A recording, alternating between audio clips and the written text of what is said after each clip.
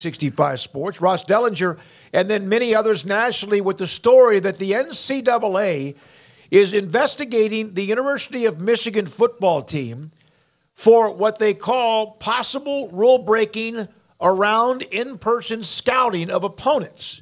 NCAA has alerted the Big Ten. The league confirmed the Yahoo Sports without revealing specifics. And the Big Ten, in fact, released their statement as well. And Garrett puts that up that they are confirming that the NCAA has contacted them involving Michigan as possible ahead of schedule, in person scouting, or whatever you want to call it of an opponent that they have on their schedule. It's been banned since 1994, so it's not like this is a new thing that um, coaches are trying to get around.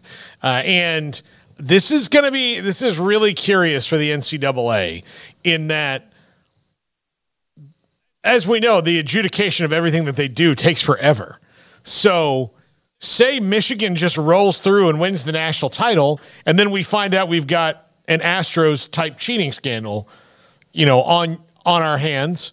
Well, now you've got to go back and vacate and all that, and you knew it was happening in real time if you did. I mean, this is this is a real sticky wicket here, and you know, this is another thing that Jim Harbaugh doesn't seem all really that committed to the college game to me if he's like rolling the dice on stuff like this. Well, I mean, I think that uh, everybody tries to find what advantages they can. It's just that Jim Harbaugh seems to have a string of uh, trying to find those advantages and getting busted for them. Um, you know, he's now been, um, you know, whether it was the the hamburger incident, which wasn't just hamburgers, they tried to play it off like it was just that, although it was very much going against the COVID rules at the time. Oops, uh oh, my bad. And then now this, where you know, if you look at uh, ESPN at least, there's an article linked from quite a while ago talking about the uh, troubles with um, trying to hide signals on the sidelines. Like there's a, a that article that's uh, from a while back attached to the Harbaugh article from today, and so it's not a new phenomenon by any means. I think there's probably a lot of people who are, you know, stumbling upon the story, going, "Oh, I didn't realize that was illegal," or "I didn't know that you couldn't do this or you couldn't do that." But yeah, there are very clearly some rules in place. There's a little oddity here and there that people are bringing up, like the, a random halftime interview where there's kind of a comment made by Greg Schiano of like, "Hum, did he know something was going on?" Or you know, little other uh, snipes here and there that all of a sudden you look back on and you're like, "Oh, wait a second, there was definitely some people aware that you know, or thinking that there could be something going, uh, going sideways or, or going awry." Uh, that wasn't supposed to. So yeah, um, just a really random story. I don't know if there was any hints on the Michigan side of things that something could be coming down. Uh, you know, maybe on their board, sometimes that happens that word gets out early, but wasn't expecting to see this type of a story or see it today. And um, yeah, it's just another little thing with Michigan where it's small enough, I guess, that you could, I, in some people's eyes, go, oh, well, that's not why they're winning, or that's not why they're, you know, whatever. But it's kind of like that recruiting thing. And going back to that, of like, it's just small enough to try and push it off, but it's when you add it all up, it's like so he's finding lots of little ways to get an advantage and cheat. I mean, basically, yeah. and so yeah, um, interesting how that will be looked at by the NCAA or or what the next steps are. Um, he's already you know got suspended earlier in the year for the the recruiting violations and kind of just brushed that to the side at the time. But here's another thing: it's just like a lot of little things adding up. I don't know is is uh, and I read uh, at least a little bit of it.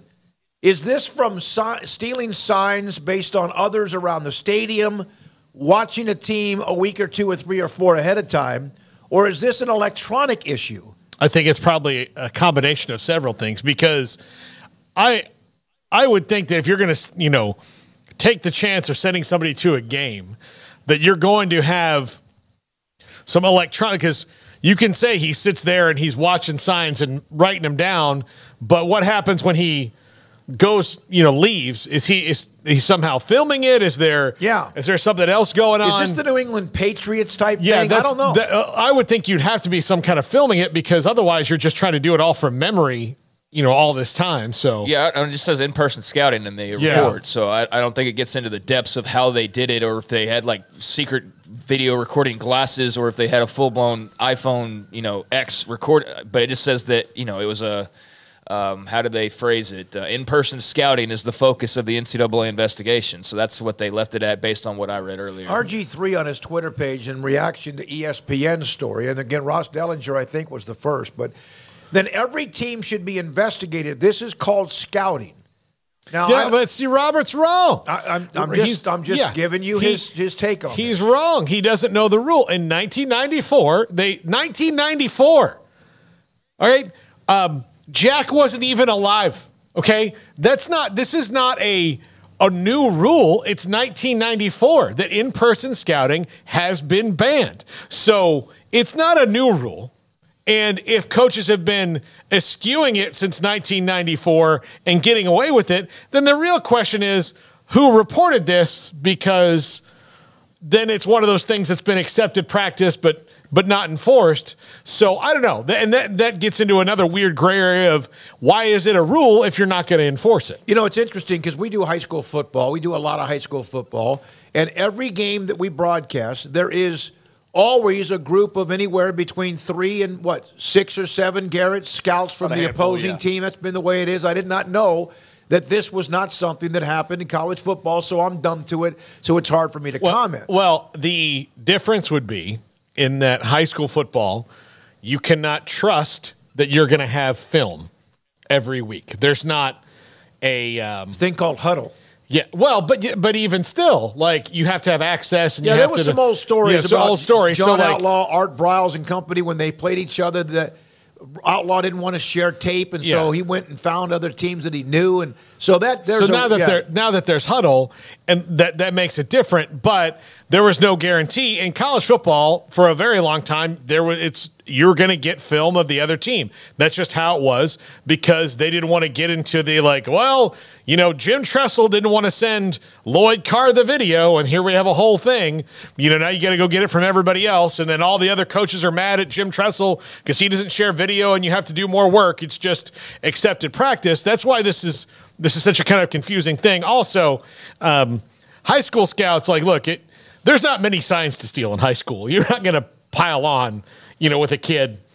Well, I think it's a lot more complicated now than Yeah. it might have been But back you're still not want to going. share film. Yeah. Yeah. but Uh, the Michigan State president released a statement on this as far as the information statement from interim president Teresa Woodruff. As we look forward to the football game this Saturday, they're playing Michigan. We are chagrined by the news of the NCAA investigation. We echo the Big Ten Conference commitment to integrity. The allegations are concerning, but. Yeah, and I'm trying not to. I'm, I'm waiting for more details on what Me exactly too. happened because you know I, I've learned, especially with this uh, latest war we've got, the misinformation on social media and particularly Twitter. I'm not. I'm not calling it what it's actually called now. It's always going to be Twitter to me. Um, there's just so much BS and bot stuff and what have you that it's impossible to try and, and find what's actually the truth. You know what like I mean? You might see a story about a bombing that was like, I hate to say it was like nine years ago or whatever. I get what you're saying. uh, there's just a lot of misinformation, and there has been for quite some time. And so it's uh, you know, it's it's hard to sort through and get what's really factual about what the allegations are because I've already seen you know a guy basically trying to spoon feed Michigan fans for interaction, saying, "Oh, it's just it was just cheeseburgers, and now they're trying to witch hunt Harbaugh again." It's like, why? What would the purpose? Like, why would what is the what, what would the NCAA gain by taking down Harbaugh in some random witch hunt? What what benefit would they get Yeah. for that? There's none whatsoever to do that something like that. So you have to sort through like that kind of thing, and then you got to sort through the Harbaugh should be burned at the stake, and you know here he is, he's a rep, and so there's a middle ground somewhere in there, and I need more details to figure out exactly what's going on because all you see is sign stealing or you know scouting impermissibly. And it's hard to, based on what I've read at least so far, know exactly what that means. I mean, and so, yeah, is this the Astros all over again? It, you know, is this something that's being blown out of proportion? Uh, I don't according, know. According to a report by Yahoo Sports, Michigan allegedly had people attending games of future opponents as well as possible college football playoff opponents to gather information on signs used to call plays on offense and defense. They could be fans in the stand. It could be planted in the stand. You know, when you have 75 to 100,000 people in some of these stadiums, that's kind of interesting. You know, you wear a different cap. Yeah, I- it's I- I it's don't very know. it's very Belichickian, uh, you know, in in that regard. But yeah, it's it's just it's it's a strange thing, and, and again, we don't we don't know what's going on. I saw Andy Staples talking about this a second ago. He said, "Here's what's funny about it: uh, you could solve this problem very easily, especially given as much money as everybody has now." Do what the NFL does and put a radio in the helmet. Well, they've been trying to do. They've been wanting that for a long time, Yeah. and for Yeah, whatever that's true. reason, that's not happened. Um, but yeah, that's what the NFL did for this very reason, and for whatever reasons, the NCAA or college football has been slow to adopt that. I think that maybe this kickstarts that now, and you see that get done. But yeah, there is a simple solution to it, and it's having what you said. But yeah, I mean, it, it does kind of seem just like another random weirdo Jim Harbaugh story. Like who else is getting? You know, like it's. just weird stories that crop up with him. Um, I don't know what the the incentive would be for any witch hunts out there.